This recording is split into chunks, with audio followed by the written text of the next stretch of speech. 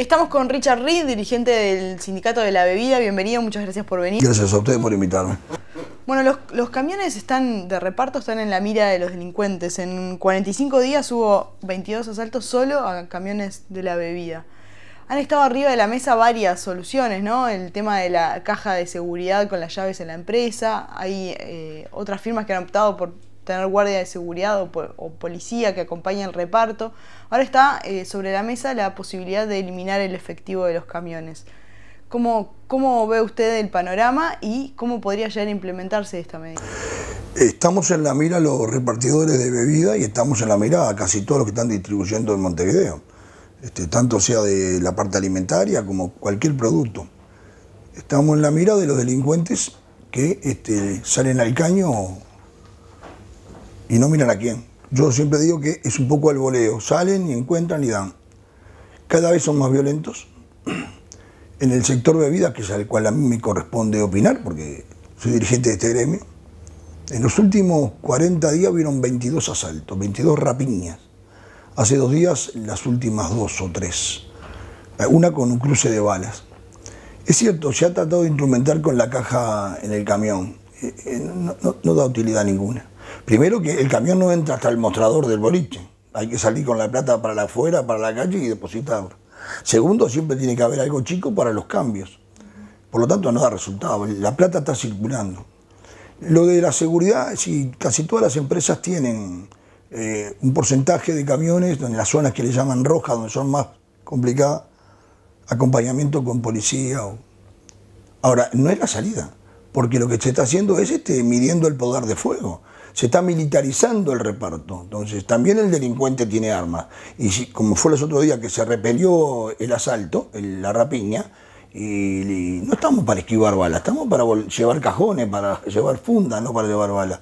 Por lo tanto, la única alternativa, que tampoco, primero, no soluciona el tema de la delincuencia ni el delito en la calle, no lo soluciona. Nosotros bregamos por los nuestros, somos dirigentes sindicales de la bebida. Ya me han dicho otra vez, eh, pero tiene que mirar por todo, porque si no resuelve el tema. Yo tengo que mirar por los míos. Yo soy dirigente sindical de la bebida. Ojalá la convocatoria fuera mayor y adhirieran todos los sindicatos que tuvieran distribuidores en la calle y formáramos una gran propuesta que creo que hay que desalentar al ladrón y la forma de desalentarlo es sacar el circulante, sacar el efectivo del camión. Ese es el atractivo, el, chorro va porque sabe que en el camión hay plata. No en todos los camiones hay plata, porque hay en algunos lugares que se cobra con cheque, en otros este, hay otra modalidad de pago, pero en la inmensa mayoría se cobra. Yo estamos planteando buscar alternativas, no nos casamos con ninguna, todas las que vengan. Eh, estamos en Uruguay. Hay un disco duro, un núcleo duro de, uruguayos que se resisten a modificar o a cambiar algunas cuestiones. Es así en todos los órdenes de, este país. Hay muchos que trabajan en la zona gris, por no decir en negro, mm. en algunos barrios. Pero bueno, este, bancarizarlos con el cheque, tarjeta de débitos o de créditos. Hay programas que están siendo adaptados y probados en los autoservices que son muy buenos, que también es por, débito automático.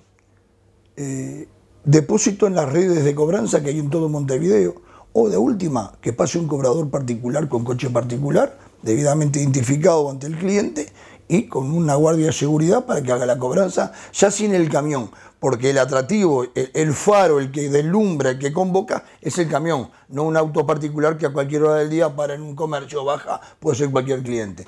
Yo creo que eso desafecta, con grande publicidad de que los camiones no tienen dinero arriba, y podrá seguir habiendo robos o atracos, pero no va a tener la característica de esto que tienen ahora. Claro. ¿Y han tenido, mantenido reuniones con las empresas? ¿Qué, qué respuesta han recibido a la propuesta? Sí, hemos tenido reuniones con los, con los funcionarios que están al frente de las empresas, porque no dejan de ser funcionarios. Y a veces su, su poder de resolución está muy limitado, mucho más en estas multinacionales tan amplias y grandes que uno no, ve el piso pero no ve el techo de estas multinacionales. Este, eh, si bien no, no, andan con excusas y, comparten el diagnóstico, porque no les va a resultar fácil a ellos y menos a nosotros tener que discutir con un muerto, después que nos maten un compañero, eso va a ser muy complicado para ellos.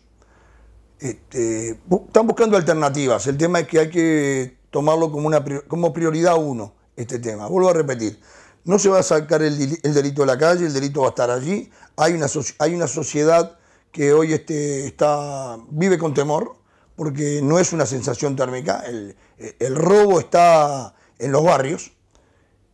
El tema es cuando pasa la rapiña y desenfrenadamente sacan y tiran. Este, lamentar muerte de compañeros trabajadores que en, uso de su trabajo este, mueran por una delincuencia de este tipo, pudiendo las empresas de forma administrativa lograr este, alternativas a la cobranza, me parece que sería un daño muy importante, ¿no? Tan grave como este, yo creo que hay que evitarlo. No creo que ninguna empresa quiera este, que suceda esto, descarto que no es así. Ahora, eh, ¿esto genera costos? Sí, claro, genera costos. Ahora, el costo más grande es una vida, ¿no? ¿Hoy tienen previsto una concentración en el Palacio Legislativo? ¿Tienen alguna reunión con alguna autoridad? Nosotros, esto está circunscrito al bilateral con las empresas. Este, bueno, las autoridades, las autoridades tienen el tema macro de la, de la, inseguridad y lo están atacando A, B o C, bien más o menos, quién sabe. Esto es un tema netamente que le compete a las empresas de la bebida en Montevideo. Si bien los robos se están dando en Canelones y en Maldonado también, pero en Montevideo está más la concentración de camiones y por lo tanto la delincuencia está más, este, más agresiva. Eh, es con las empresas. Tuvimos una reunión ayer, habrá otra. Y bueno, y hoy convocamos un paro, a un paro a las 10 de la mañana, con concentración en el Palacio Legislativo de todo el sector bebida. Está abierta la convocatoria a todos aquellos distribuidores de otros productos que se sientan afectados, porque creo que el reclamo es un reclamo colectivo, es un reclamo sentido por todos hoy lo levantamos nosotros, pero suponemos que puede tener un eco positivo en el resto de los que estén sindicalizados o no. Creo que hay que sacar el circulante, el circulante es el atractivo y la delincuencia no tiene límites, por lo tanto ni tiene códigos, porque igual mata por 50 pesos.